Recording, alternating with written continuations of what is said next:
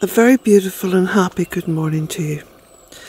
Today is what is known commercially as Mothering Sunday or Mother's Day. Now, I, I personally don't celebrate it because I don't like anything that is commercialised to the extent that this one has become. Cards and imported flowers, as well as um, quite sickly chocolates and everyone taking their mother out for a meal. So all the all the, all the pubs and restaurants are absolutely filled with um, people people um, celebrating their mothers.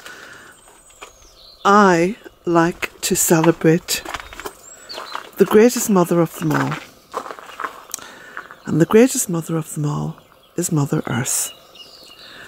And here she is. Here she is, emerging from a winter and into the beautiful late spring here in the west of Ireland. So I'd like to say happy Mother's Day, and I'd like you all to join me in wishing the Great Mother. A very happy year to come, a year in which we plant, we honour, we care for, we relate to all the life that this wonderful, joyful, ever forgiving mother brings to us.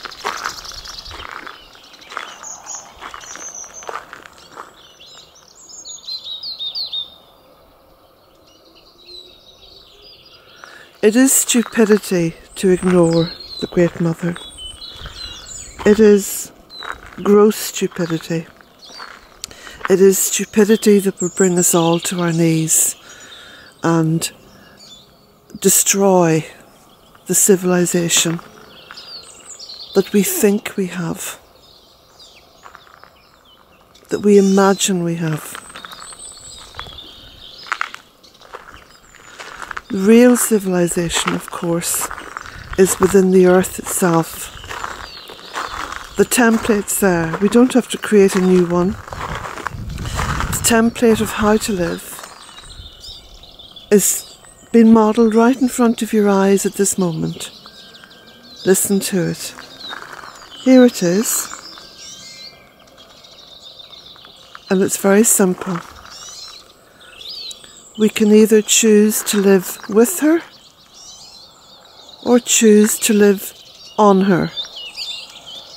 And if any of you today think that living on the back of your mother is a good thing, then that's where we have to stop and re examine everything that we call our civilization.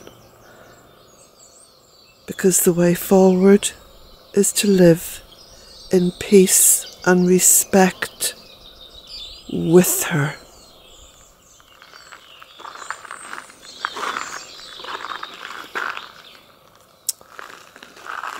So happy, happy Mother's Day.